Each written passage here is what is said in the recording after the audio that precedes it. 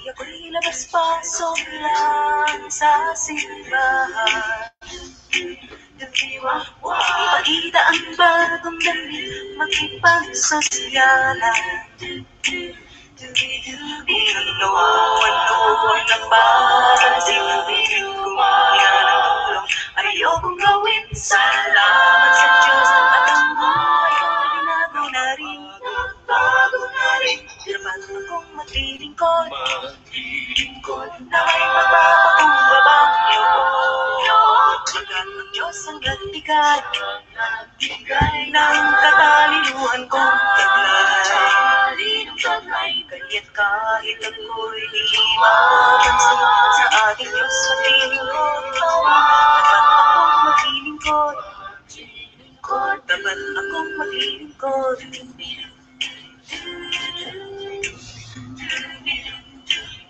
May mga taong naglilingkod para lang hangaan.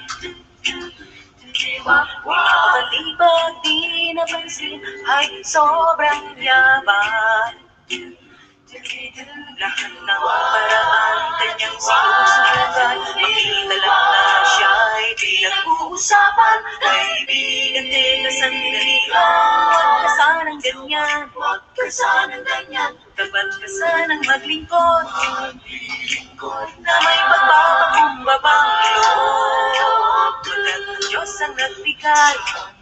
Bigay ng katalinuhan mong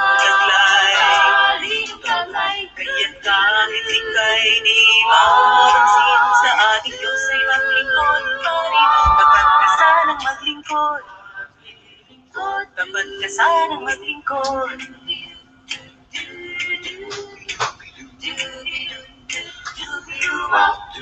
bawat araw iyong alalahanin ng Diyos na bigay sa iyo Bilang ganti ay karapat Dapat na siya ay paglingkuran mo ng tapat Kaya sa iglesyang kinabibilangan. Ipagkaloob ang taglay mong lakas. Sa iyong punuan ang pangangailangan Pagpapalain ka ng Diyos sa wakas. Dapat na tayong maglingkod. Na may magpapakumbabang loob Pagkat ang Diyos ang nagbigay Bigay ng katalinuhan ang taglay Kaya't kahit tayo'y di mapansin Sa ating Diyos ay maglingkod pa rin Dapat na tayong maglingkod Dapat na tayong maglingkod Dapat akong maglilingkod Dapat na sanang maglingkod Dapat na tayong maglingkod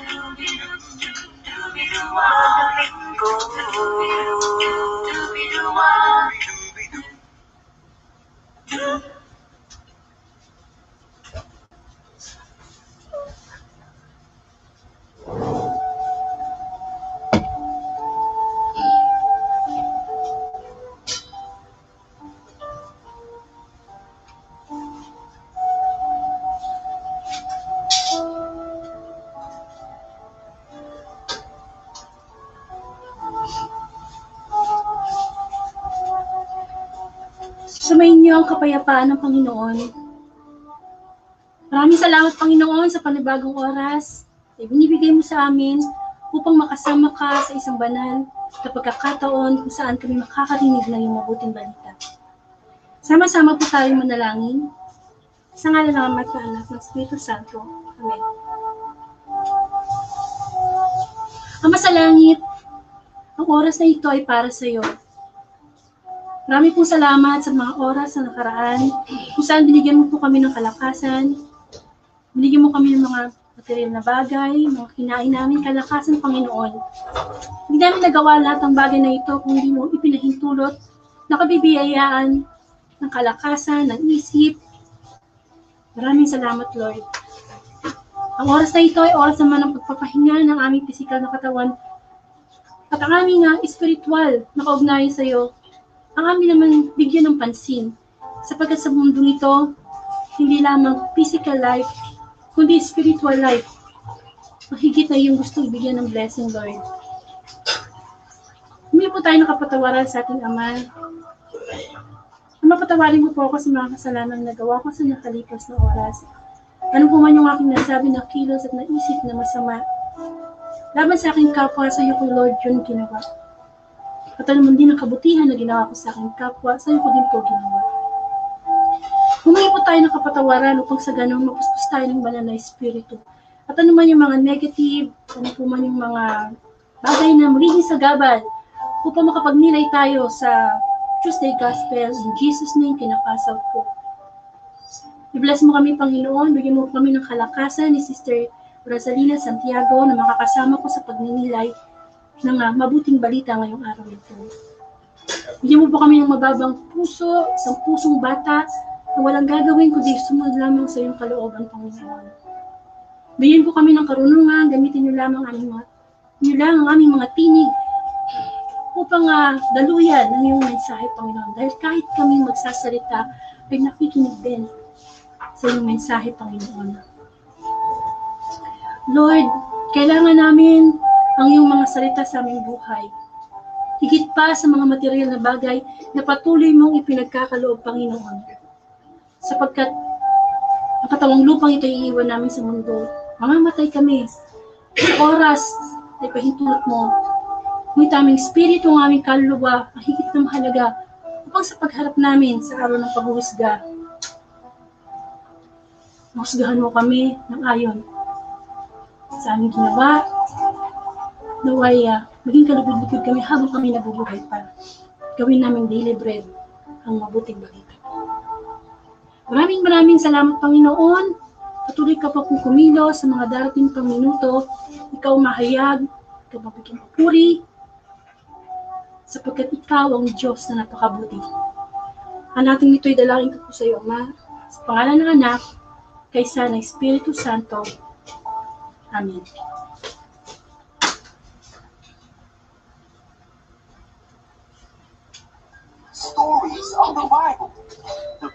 Of the two sons. This is Jesus, who is the Son of God and the Savior of the world. While Jesus was on earth, he taught everyone about God's love and healed people from their sickness. He did many miracles like walking on water. Oh. And even raised people from the dead. Wahoo! Jesus was in the temple in Jerusalem teaching when the Pharisees and religious leaders came up to him. They challenged his authority, and Jesus said, What do you think about this?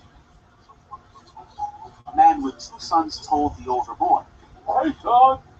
Son, go out and work in the vineyard today. The son answered, No, I won't go.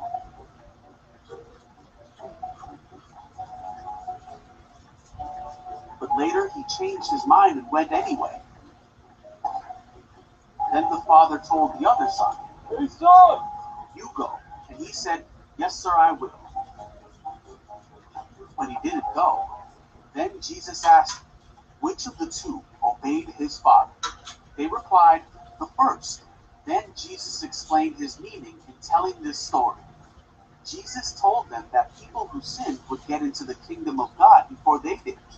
This is because the Pharisees and religious leaders didn't believe the people who God sent to tell his message. Jesus continued to talk to the Pharisees and religious leaders. They realized he was telling the story against them, and they wanted to arrest him. But they were afraid of the crowds because the crowds listened to Jesus and believed that the message he was speaking was from God.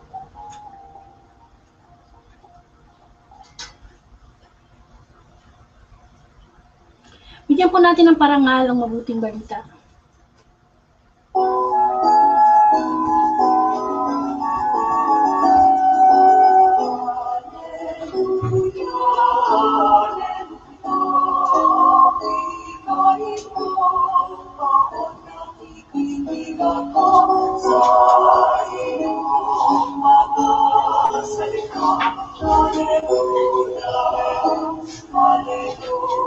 Thank you.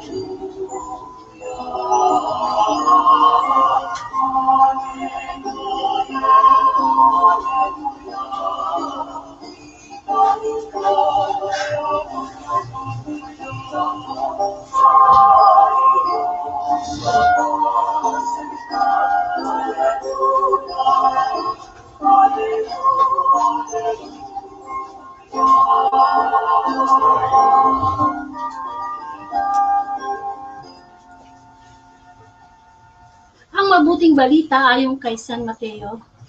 Papuri sa iyo, Panginoon. Ano ang palagay ninyo rito? May isang taong may dalawang anak na lalaki. Lumapit siya sa nakatatanda at sinabi, Anak, pumunta ka ngayon sa upasan at magtrabaho ka roon. Ayoko po, tugon nito. Ngunit nagbago ito ng pasya at nagtrabaho sa upasan. Lumapit din ang ama sa ikalawa at ganoon din ang kanyang sinabi. At tumugon ito, Opo, ngunit hindi naman pumunta sa ubasan. Sino sa dalawa ang sumunod sa kalooban ng kanyang ama? Ang nakatatanda po. Sagot nila. Sinabi sa kanila ni Jesus, Tandaan ninyo, ang mga maniningil ng buwis at ang mga bayarang babae ay nauuna pa sa inyo na makapasok sa kaharian ng Diyos. Sapagkat naparito sa inyo si Juan at itinuro ang pagsunod sa kalooban ng Diyos at hindi ninyo siya pinaniwalaan. Ngunit naniwala sa kanya ang mga maniningil ng buwis at ang mga bayarang babae. Nakita ninyo ito, subalit hindi pa rin kayo nagsisit tumalikod sa inyong mga kasalanan. At hindi rin kayo naniwala sa kanya. Bakit Ang mabuting balita ng Panginoon, pinupuri ka namin, Panginoong Heso Kristo. Sa pong pinagpalang gabi sa lahat ng makakarinig ng mabuting balita, welcome po sa The Word of God Daily Gospel. Ito po ay 8 o'clock gabi-gabi. Monday to Sunday Gospel po lagi ang ating pagmimilayan sa tulong po ng Panginoon. Nawa, ah, lagi natin po uh, isali ito sa ating ah, schedule sapagkat parte ng ating buhay bilang physical life yung ating spiritual life, higit yun ang tinitignan ng Panginoon at higit yun na gustong binibigyan ng pagpapala at biyaya ng Diyos. Sapagkat utos po ng Panginoon na basahin lagi ang Bible, lagi tayong makarinig ng mabuting balita. Sapagkat ito eh, may tuturing natin daily bread, kamukha ng sinabi ng Panginoong Jesus na huwag tayong makontento na nabubuhay lang tayo na kain, tulog, trabaho, aral, hindi. May katapusan ng lahat ng yan. So dapat pinaghahandaan natin yung buhay na walang hanggan. Kasi yung buhay natin dito, pansamantala lang yon temporary. Eh, pag namatay tayo, yung pupuntahan natin is either langit or uh, impyerno, yun na yung forever, yun na yung eternal. Eternal life or eternal punishment. So yun ang higit dapat nating minomonitor every day. Kamusta na yung aking espiritu? Yung aking kaluluwa saan kaya pupunta? Amen po. So kailangan nabubusog tayo ng salita ng Diyos. Dahil kung hindi, tayo magkakaroon ng tinatawag na spiritual illness o yung sakit spiritual. So tayo mga tayo, nagkakasakit tayo ng lagnat, may mga nalulumpo, nabubulag. Eh yun eh, mga sakit na panlupa na may katapusan. Ang matakot tayo, yung mga spiritual na sakit na araw-araw, virus na kasama natin, at yan ay ang kasalanan. Ang gusto ni Lord, kaya tayo nakakarinig ng mabuting balita everyday at hindi lang siya Sunday, upang sa gano'n maging bagong nilalang tayo. New creation, yan inaasahan ng Panginoon. Upang sa gano'n maging on- online alagad tayo, no? Matupad natin ang Great Commission na ipalaganap ang mabuting balita. At maraming muling salamat sa Panginoon. Lagi nating ituring na ang bawat araw, lalo na ngayong pandemic, ay isa ng himala at napakalaking biyaya mula sa Diyos. Yung pagkagising natin kanina, eh, yan ang first blessing na nare-receive natin sa Panginoon. Kaya sana, huwag nating bigyan ito ng ah, baliwala. Ibalik natin ang pasasalamat sa Panginoon sa pamamagitan ng ah, pagsama, pagtugon sa kanyang tawag na maliit na piging online. Ah, kamukha nito, kahit hindi po tayo nakita-kita mga Facebook friends. Ito po yung way ni Lord para ah, makarinig tayo ng mabuting balita kasi lahat naman po tayo may cellphone, lahat tayo may Facebook. So bakit di natin gamitin ang Facebook Live para sa kapurihan ng Panginoon. Amen? So, Tuesday Gospel po ang ating pagmimilayan. At ngayon po December 15, 2020. No? Ilang ma- araw na lang. 2021 na. So sana po, bagong taon, bagong nilalang. Amen? So, uh, yung binasa po natin kanina, mula po yan kay San Mateo chapter 21 verses 28 to 32. At ito po ay tungkol sa, ang talinghaga tungkol sa dalawang anak. Amen. Yan. Alam niyo naman po ang Panginoong Isus kapag siya ay ah, ah, gusto magbigay ng halimbawa o ng kwento, dinadaan niya sa talinghaga. Amen po. So, sana po ah, makinig tayo mabuti at mag, ah, magnilay tayo pagkatapos nating marinig kung ano bang ibig sabihin nitong talinghaga na to. No? Maraming talinghaga eh. May talinghaga kung, kung saan saan, sa kasala, ah, ah, talinghaga ng uh, libughang anak, talinghaga ng dalawang anak. Maraming talinghagang binabanggit ng Panginoon. Pero sa bawat talinghaga na yan, tiyak, meron niyang application sa buhay po natin. At ngayong gabi po, makakasama po natin si Sister Rosalina Santiago. Siya po ay ah, matagal nang naglilingkod sa Panginoon at siya leader po din ng ah, parents ministry. So talagang ah, pagdating sa pananampalataya sa Diyos at relasyon sa Diyos, eh marami siyang ah, ah, may babahagi, lalo na siya isang ina na at lola na. So, si isang talinghaga natin ay tungkol sa dalawang anak, marami siyang may, may babahagi when it comes to anak, yung pagsunod at pagsuway ng isang anak. Pero syempre, more of spiritual uh, message ang kanyang ibigay.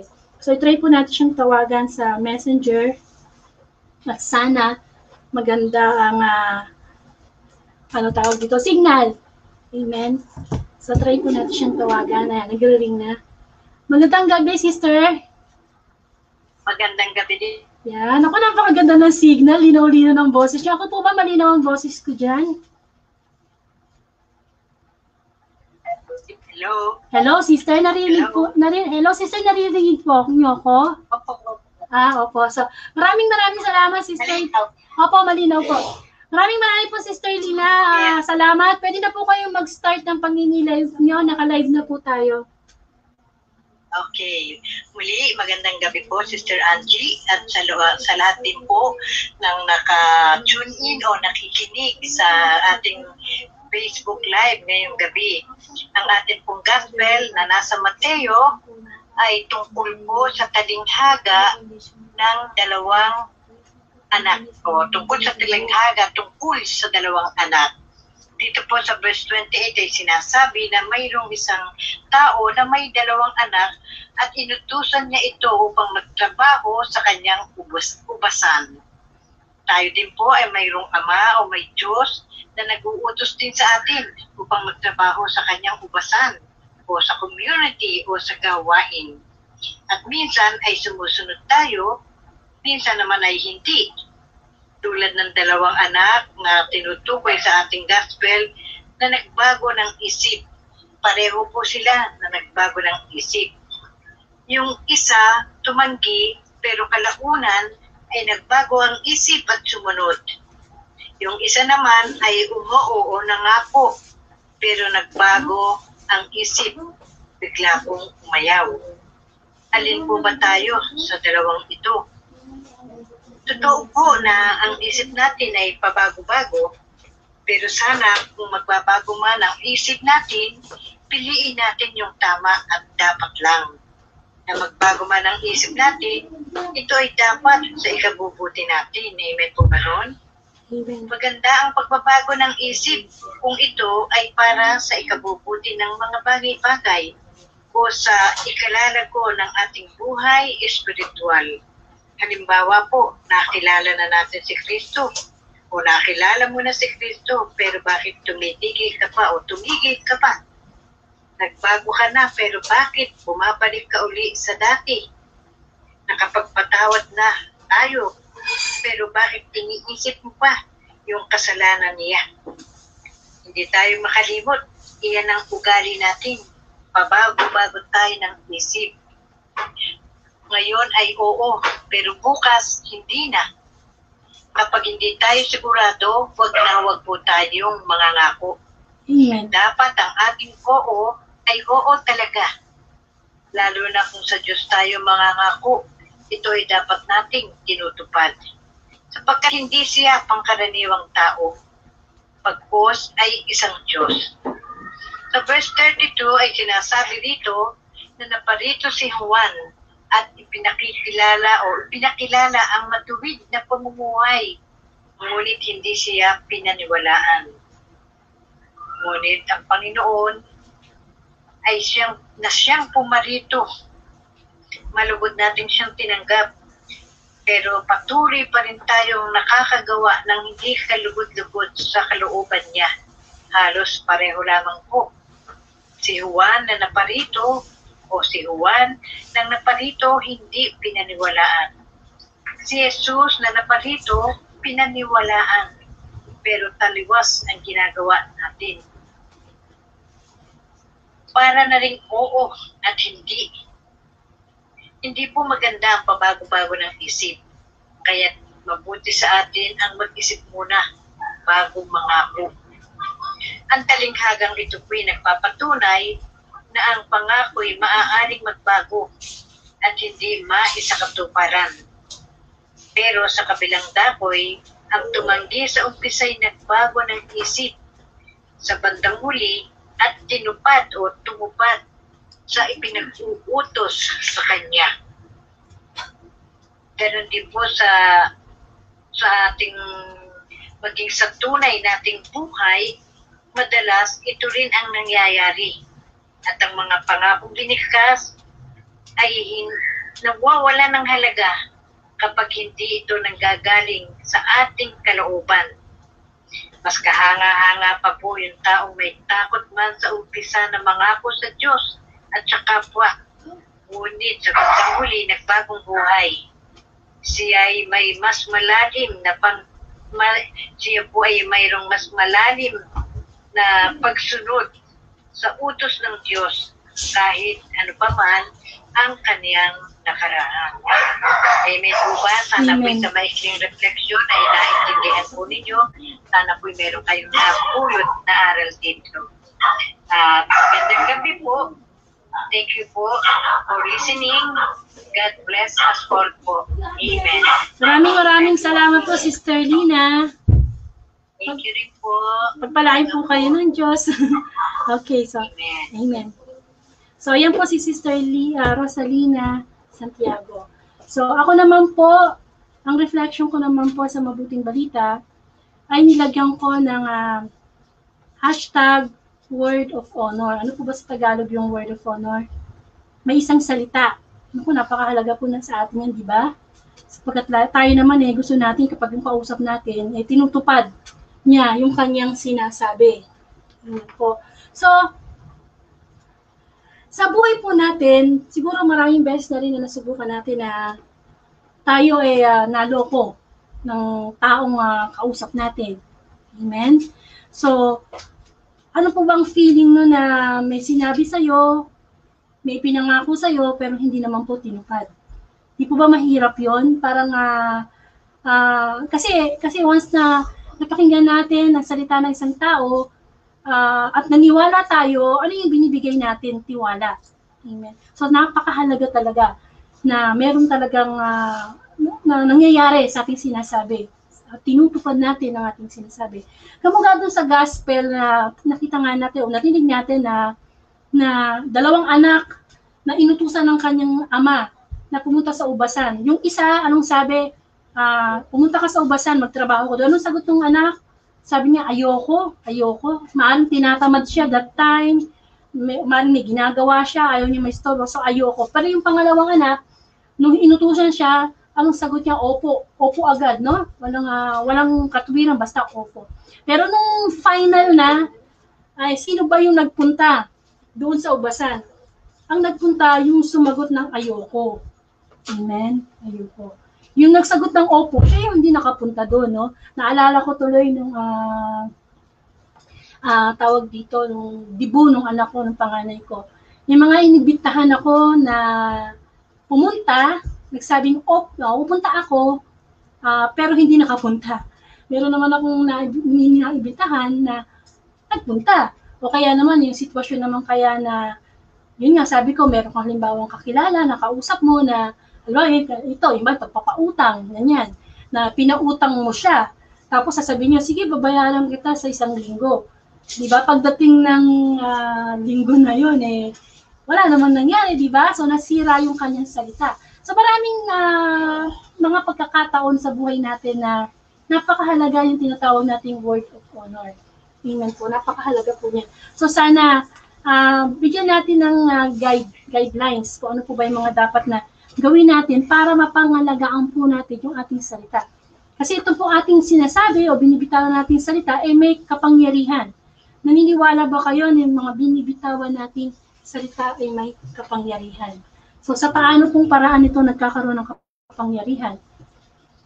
Una po sa lahat, um, ang salita po nating binibitawan, kahit anong klaseng salita yan, ha, ito'y pwede pong magwasak o magbuo ng isang relasyon. Amen?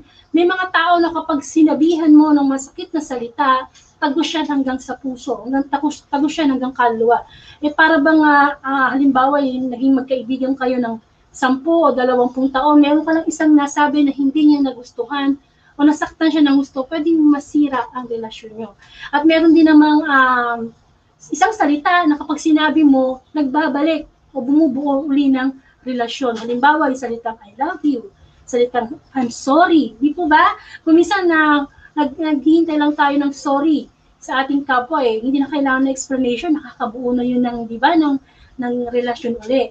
So, sa atin po bilang ah, mga Kristiyano na nakilala sa Panginoon, ah dapat po talaga na tayo ay merong sa- isang salita. Lalo na kapag ang Diyos ang ating kausap. Amen? Sa tao, pwede tayong magsalita at mag-break o hindi natin tuparin eh. Eh, tao yun eh. Amen? Pero pagdating sa Panginoon, hindi dapat. Amen? So, una sa lahat, kung gusto natin magkaroon ng word of honor, ay salitang tinutupad. Amen? Ano yung salitang tinutupad? Bago tayo sumagot sa isang tao, dapat isipin mo natin, ma- magagawa ko ba to? Matutupad ko ba to? Ah, hindi ba mawawala yung tiwala niya sa akin?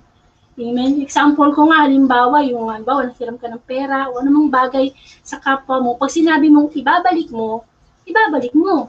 Amen. Kasi pag dumating yung time na sinabi mo at hindi mo na ibalik, syempre, mali mo siya na yung nangangailangan ng pera that time, hindi mo na ibalik. Syempre, masisira yung salita mo. Amen po. E baka hindi ka na makaulit. Amen.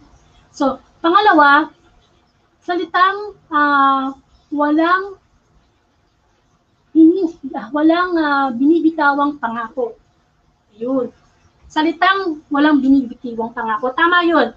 Alam po nyo sa Mateo, may nabasa ako na huwag daw po tayong mangangako. Huwag na wag. Bakit?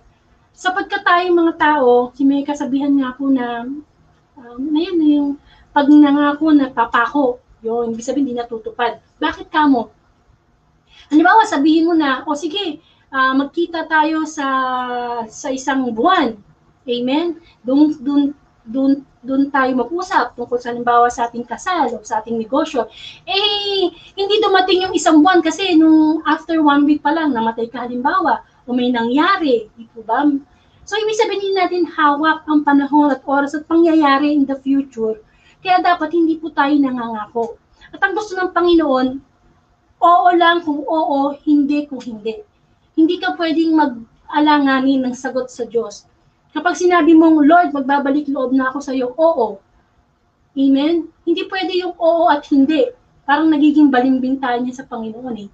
Na, oo Lord, susunod ako sa utos mo. Kung, kung, kung kaya ng, ah, ng damdamin ko na magpatawad. Di po ba? Hindi ganun. Kailangan na ang gusto ng Diyos yung hindi tayo, sabi nga, eh, hindi tayo maligamgam. Kailangan kung mainit, mainit, kung malamig, kung malamig. Ayaw niya yung alanganin yung sagot natin. Amen? Kasi ang pwede lang mangako ay ang Diyos. Dahil ang Diyos lang ang nakakatupad ng pangako. Kapag sinabi ng Panginoon na magpatawad ka at patatawarin ka, totoo yan. Kapag sinabi ng Diyos sa mga anak na igalang mo ang iyong amatina at bibigyan ka ng magandang buhay, papahabain yung buhay mo, yan ay pangako ng Diyos na siya lamang ang makakatupad. Kasi hawak niya ang oras, ang araw, hawak niya ang buhay natin. Amen. So siya lang ang may karapatang magsalita ng pangako. Amen.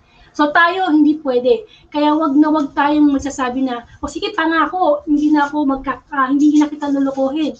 O pangako, di ba? Wag ganun. Wag nating ah, gagamitin yung salitang pangako. Kasi nga, um, pwede tayong magsabi ng mga bagay na hindi naman natin alam kung matutupad natin kasi hindi natin alam yung mga susunod pang oras kung ano mangyayari sa atin. Amen? Kaya sana, kung, kung tayo eh ah, magsasalita o may sasagot tayo sa tao, ah, sige, pupunta ako sa kasal mo o sa binyag mo. sa kung loloobin ng Diyos. Yung mas maganda pa yung gano'n, no? Yung kung loloobin ng Diyos. O sige, ah, pupunta ako sa ganitong lugar. Pupunta ako sa ganitong ah, ah, ah, event kung loloobin ng Diyos. Pero yung pangako, wag na wag talaga natin gagamitin yan. Amen. Kasi ang Diyos lang ang nakakatupad ng kanyang pangako. Tayo, karaniwan, napapako. Di ba? May mga sitwasyon na nangyayari. At ayaw din naman natin na tayo eh napapangakuan. Amen po. Ano pa?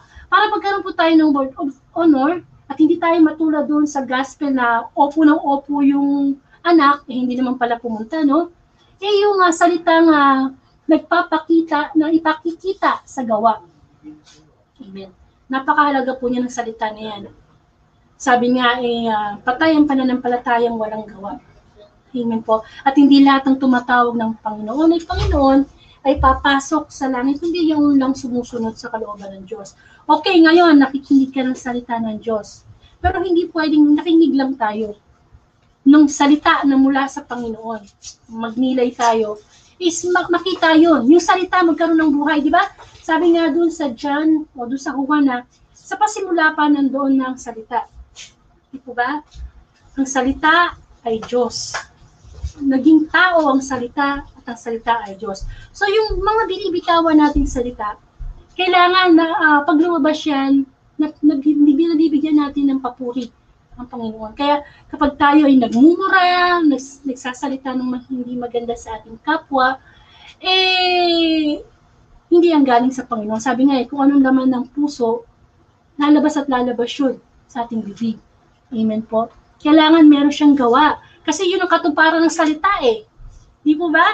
Uh, nakikita natin yung paglikha ng Diyos. Di ba nung sinabi niya na magkaroon ng liwanag, magkaroon ng araw, ng dagat, maglikhain natin ng tao. Di ba? Hindi lang niya sinabi, ginawa niya. So tayo ganun din. Kapag tayo ay magbabalik loob sa Panginoon, kapag sinabi natin, Lord, tatalikuran ko na yung bisyo ko. Lord, uh, alis na ako sa pangangalo niya. Lord, uh, magpapatawad na ako. Kailangan ipakita natin sa gawa. Sabi nga, when you pray, do your prayer. Kapag nagdasal ka, gawin mo yung dinasal mo. Hindi naman kasi pwedeng hingi tayo, dasal ng dasal tayo kay Lord, pero hindi naman natin ginagawa. Yung kaya sinasabi ni Lord na uh, kasabihan na narinig natin na nasa tao ang gawa, nasa Diyos ang awa. Amen po. Binigyan tayo ni Lord ng kalayaang uh, magdesisyon kalayaang gamitin yung demokrasya natin sa pagpapahayag ng ating damdamin sa pamamagitan ng salita at ng gawa. At kung gusto rin na natin magkaroon ng word of honor, dapat meron po tayong salitang nakakakitaan ng pagpapakumbaba. Ayun. Mahalaga po yun. Na kapag po tayo nagsasalita, hindi po yung parang nagmamayabang tayo sa ating sarili. Lalo na, po, lalo na po kapag tayo yung ginagamit ng Diyos na maging uh, tagapagpahayag ng kanyang mabuting balita dapat kapag ay nagsasalita, ay salita natin, may kababaang loob na hindi yung sarili natin ang ating itinataas, kundi ang Diyos. Na kaya ako nagbago, kaya ako nagbalik loob sa Panginoon, kaya nakakatulong ako sa kapwa ko, kaya ako nakakapagpatawad sa kapwa ko.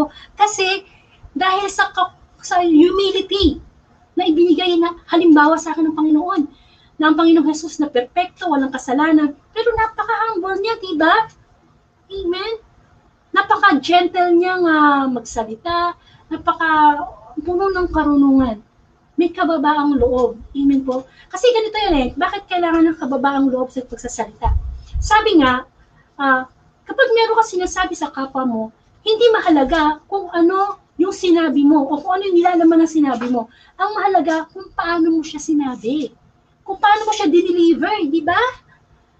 Minsan nga, di ba, sa, sa chat, okay, sa text, no? Alam naman natin kung nakaka-receive tayo ng mga message from chat or text, pag nabasa natin yon, tiyak tayo ang magbibigay ng emosyon doon sa nabasa natin. Amen? Kaya nga dapat lalagyan natin ng emoji eh. Di ba? Kung naka-smile, kung naka-galit, o kung natutuwa, nagugulat, di ba? Kasi pagka hindi, eh paano kung uh, eh, paano kung halimbawa sabihin niya eh uh, nag-chat siya sa'yo, nag-text siya sa'yo, tapos sabi niya eh, alam mo, nainis ako sa'yo. O, oh, yun, di ba? Din nabasa mo yun. Siyempre, ang dati sa'yo nun, negative. Pero yung pala, nagbibiro lang siya. Hindi po ba?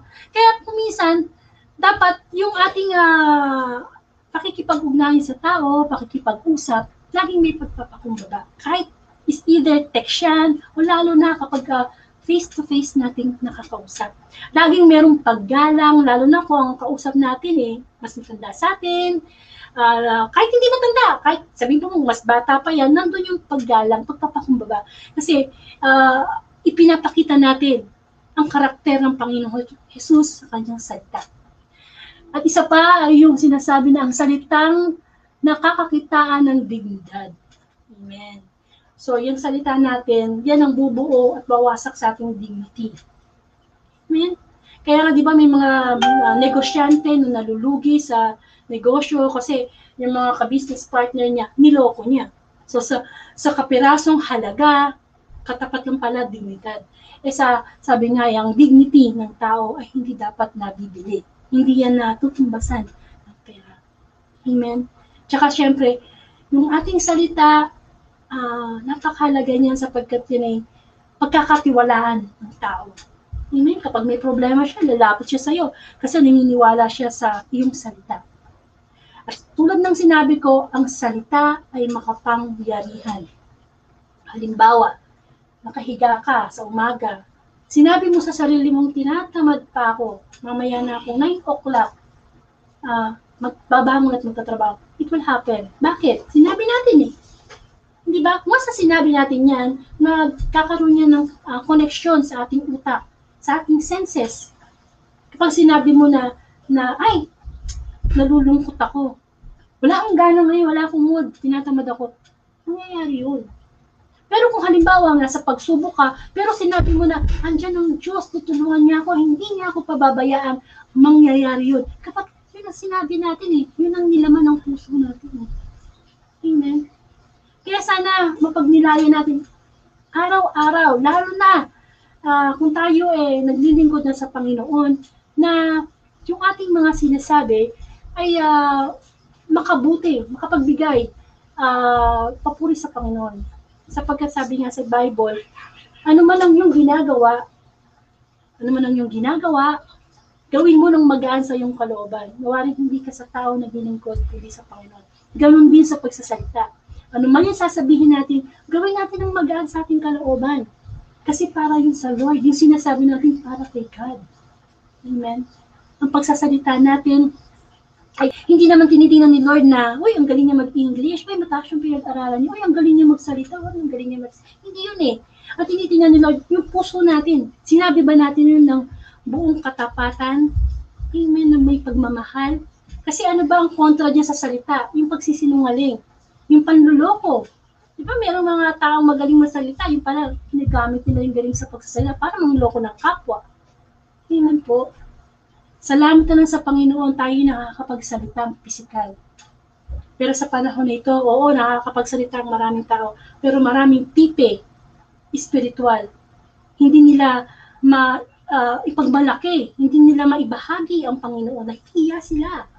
Hindi nila magamit yung salita, pero pag mga inuman, barkadahan, payabangan, ay, naku, malakas ang boses pa sa malakas, no? Amen. Kapag galit, talaga naman ang salita, grabe, nakakasakit sa puso ng kapwa.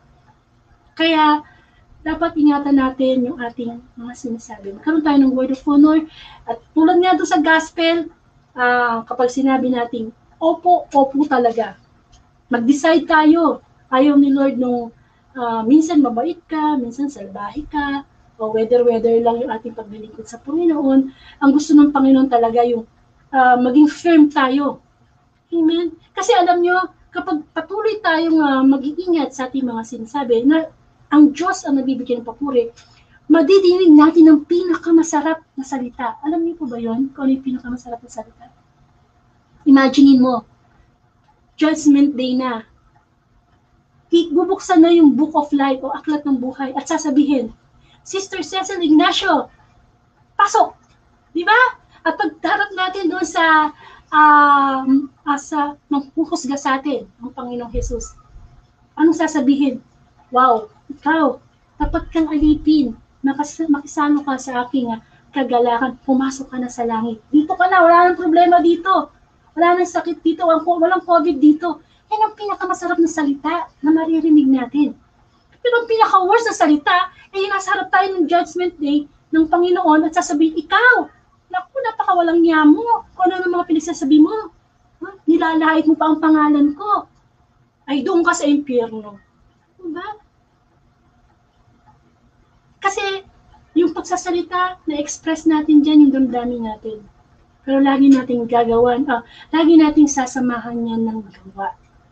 Amen po. Sapagkat kung lang tayo salita na salita, hindi natin ginagawa, patay yun. Amen po.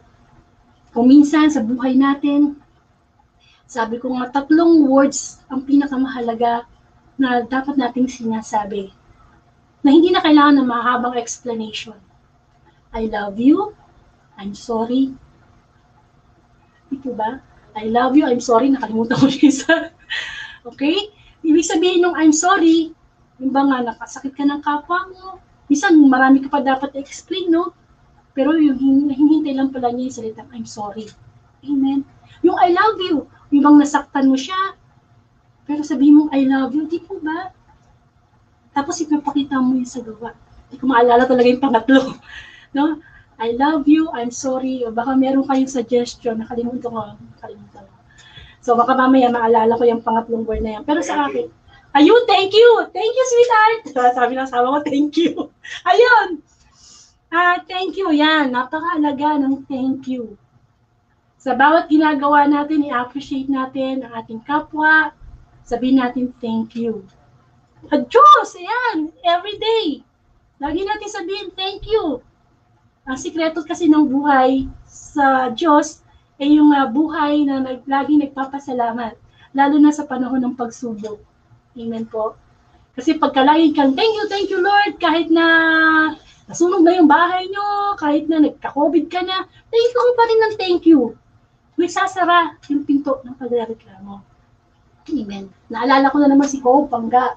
Di ba si Hope na nasa kanya na ang lahat ng kayamanan, mga ari-arian, eh dumating yung time na nawala lahat. Amen. Nagkasakit pa siya mula ulo hanggang paa. Pero anong sabi niya sa Panginoon, sa Ama? Ikaw ang nagbigay. Ikaw din ang bumango. Di ba hindi siya nagreklamo? Hindi siya nanumbat. Amen. So, yun ang ma- isa sa mga sa mga tatlong salita na mahalaga sa buhay natin. Thank you, I love you, and I'm sorry. Sapagkat yung lahat yun nagpapakita ng kababaang loob, ng appreciation, ng pagpupuri sa Panginoon. Amen.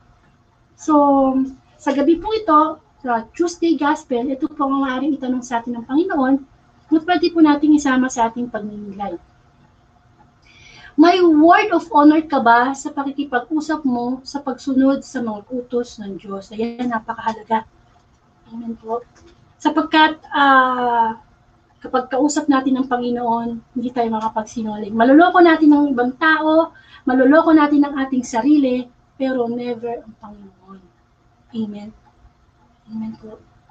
Kaya sana ah, magkaroon tayo una sa lahat ng ah, word of honor. Tsaka naalala ko naman yung universal rule. Ano ba yung universal rule? Huwag mong gawin sa kapwa mo ang ayaw mong gawin sa iyo. Kung ayaw kang lokohin ng kapwa mo, ayaw kang pagsalitaan, ayaw mong murahin ka ng kapwa mo, huwag mo siyang murahin. Amen? Kung ayaw mo mapagsalitaan ng mga bagay na makakasakit sa damdamin mo, huwag mo din gawin yun. Amen? So, napakasarap na ito, ito, kamukha itong Facebook Live na ito. Every night, puro salita, salita ng Panginoon ang ating pinagninglayan. At masarap pakinggan ang salita ng Panginoon. Kahit pa ulit-ulit yan. Kasi kung talagang nasa Panginoon ka, lagi mong hahanapin ang kanyang pinig. Nakakapagbigay ng pag-asa, pagtitiwala, at pag-ibig. Kasi ang salita ng Diyos, 100% hindi tayo lolokohin ang salita ng Diyos. 100% lahat ng pangako niya ibibigay sa atin. Ang salita ng Diyos, nag-offer siya ng buhay na walang hanggan, ibibigay niya sa atin. Kaya sana, bukod sa paniniwalaan natin, ang kanyang salita, isabuhay natin to. Kamukha ng ah, ah, pagsisimba natin bago tayo kumu- kumuha ng komunyon, tumanggap ng komunyon, ano sinasabi natin? Panginoon, hindi ako karapat dapat na magpatuloy sa iyo. Ngunit sa isang salita mo lamang, ay kakatingin ako. Ilang salita na ba ang narinig natin sa Panginoon? Gumaling na ba tayo? Amen? Ano yung mga salita, may mga comforting words ni Lord. Patawad ka. Huwag kang mangangalunya. Huwag kang magnanakaw. Ikala mo yung amati na. Yan ang mga words ni God na lahat yan may pangako kapag tinupad natin. At kapag natupad natin, may gantimpala. Amen. So sana po ah, sa mga oras na ito, ah, salain pa natin, no? I mean, I mean hindi naman talaga tayo makakapag ah, mabilisan eh. Sana, sala, sala hanggang sa dumating na yung time na yung salita natin talagang nakikinabang na ang Panginoon sa ating mga sinasabi. Tayo po'y magkaroon ng closing prayer. Ama, marami pong salamat sa muli mong pagpapaalala sa amin na tunay nga, Lord, na madalas nawawalan kami ng word of honor sa aming kapwa. At kapag ginawa namin yun, sa iyo, sa iyo din namin yung ginagawa, Panginoon. Turuan mo kami na wala sa amin ng pagiging sinungaling, pagiging chismosa, ang pagsasalita ng masasakit sa aming kapwa. Bagkus palitan namin ito ng salitang nagmumula sa banal na kasulatan na makapagbibigay ng papuri sa iyo, Panginoon. Napapakabuti mo, Panginoon Diyos. Kailanman, hindi po ikaw nagkulang sa amin. Lagi kang merong salita para bigyan kami ng comfort. Itong gospel na to, everyday sa Facebook Live, pagpapaalala to, Panginoon. Hanggat nabubuhay kami, lagi mo kami ina-advise na ganito ang gawin natin, namin upang malayo kami sa virus ng kasalanan. Salamat, Panginoon, sa iyong mga salita na punong-puno ng paghihimala, hindi lang information, kundi transformation. Maraming salamat, Panginoon, sa pamilya ko na laging mong binubuo dahil sa iyong mga salita, na iyong mga salita ang nagiging gabay namin sa aming pamilya. Bilang isang ina, salamat sa mga salita na naririnig ko, na panginilayan ko, naisa sa buhay ko upang maipakita ko sa aking mga anak. Nawa dalangin ko din ang pamilya Ignacio, Felipe, Balosa, Abelia, pamilya Santiago at lahat ng Facebook friends ko po, nawa ang salita ng Diyos ang magharit sa kanila. Nawa ang salita ang makapagbigay sila ng kapangyarihan upang magkaroon sila ng pagbabago. Nawa ang salita mo ay pumasok tagos sa aming kaluluwa. At ang iyong mga pangako sa iyong mga salita, kailanman ay hindi mo ito babaguhin sa mga taong totoong nagmamahal at naglilingkod sa iyo. Yes, Lord, patuloy na project para kay Brother Ton Borde. Ganyan din, ah, kagalingan sa karamdaman nila Teresa de la Cruz, Jerry de la Cruz, Camille de Guzman, Danilo de Guzman, Sister Leia Calma, Windy Pushon, Angel Cunanan, Sister Jovi Ramos, Carl Nathan Enriquez. Ito pong mga kapatid natin, ay may iba't ibang karamdaman po sila. Merong iba na may COVID, iba na may, may brain tumor, isa naman ay merong uh, leukemia. Iba-iba ang kanilang mga karamdaman. At sama-sama po tayong isama sa ating panalangin. Mas maganda po yung tayo ang nananalangin kaysa tayong ipinapanalangin.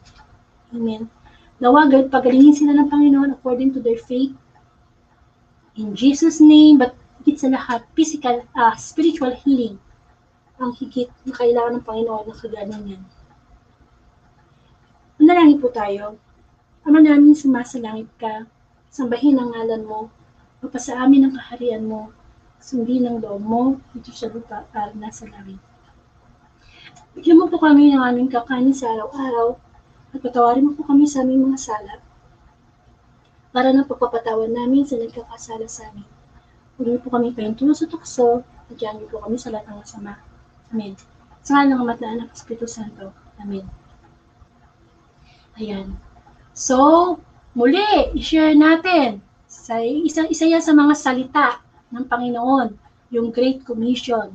Kaya sana po, i-share natin itong Tuesday Gospel sa ating timeline upang matupad natin ang salita ng Panginoon ay palaganap ang mabuting balita.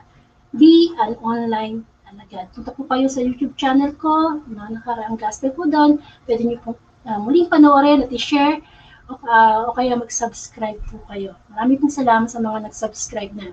At nawa yung hindi pa nakapag-subscribe, subscribe po kayo para makapag-live din po ako sa YouTube channel na kung saan mas marami ang pwedeng makanood at makarinig. Thanksgiving ni prayer request. Ah, private message nyo lang po ako sa aking ah, Facebook account na Angelica Dorde. At muli, Mateo chapter 5 verse 5. Mapalad ang mga mapagpakumbaba sa pagkatatawin nila ang pinako, pinangako ng Diyos. Sabi ko nga, from Sunday to Saturday, ito po yung memorize nating Bible verse. Mateo 5.5, tungkol po to sa humility. Ito ba yung malakas na bala sa mga tuksong ah, ibinibigay sa atin ng Diablo, lalo na kapag natatouch yung ating pride. Gusto nating mabwisit, gusto nating mainggit, gusto nating makigante. Mateo 5.5. Itak, itatak mo na yan sa espiritu mo, sa kaluluwa mo yung Mateo 5.5 na yan. Sapagkat pag yan, ang naisip natin, lalayuan tayo ng Diablo. Kamukha ng ginawa ng Panginoong Jesus nang siya'y tuksohin sa ilang. Sinabi niya, nasusulat, nasusulat, nasusulat. Amen. So, ganyan makapangyarihan ang Mateo 5.5. Maraming maraming salamat po, Sister uh, Rosalina Santiago, sa iyong pagbabahagi. Pagpalaan ka ng Panginoon at iyong pamilya. At muli po, anyayahan ko kayo na pumibigay ni Lord ang December 16. Simbang gabi na ba? Parang simbang gabi na yata December 16. No? 2020, muli tayo magsama-sama para sa Wednesday Gospel. Amen po. And, uh, ayun. Maraming maraming pong salamat. Ang Diyos talaga ang binigyan natin ng oras sa pagkakataon nito. Sabi nga eh, hindi the quantity but the quality of time. Tandaan mo, ha, milyon-milyon, trilyon-trilyon ang nilikha ng tao, ng Diyos sa mundo. Dami, no? Ilan lang ang mayroong puso na makinig ng kanyang mabuting balita. At yan ay pagiging mapalad. Sabi nga ng Panginoon, mapalad ang mga nakikinig ng aking salita at tumutupad dito. Amen. Alam niyo sa mundo, uso yung sinasabing majority wins. Ano ibig sabihin nun? Ay ginagawa ng marami eh. Di ba? Ginagawa ng marami ang divorce, ginagawa ng marami ang abortion, majority wins. Gayahin natin. Kaya kailangan talaga na makarinig tayo lagi ng mabuting balita. Upang sa ganun, makontra natin na teka, sa mundo, sabi, ngipin sa ngipin. Pero ang sabi ng Diyos, Mateo 5.5, kailangan may unity. Amen po. Maraming maraming pong salamat. Huwag kalimutang magdasal bago matulog, humingi ng tawad. At uh, pag nagising tayo sa panibagong umaga, every gising is a blessing. Seek first the kingdom of God. To God be the glory po.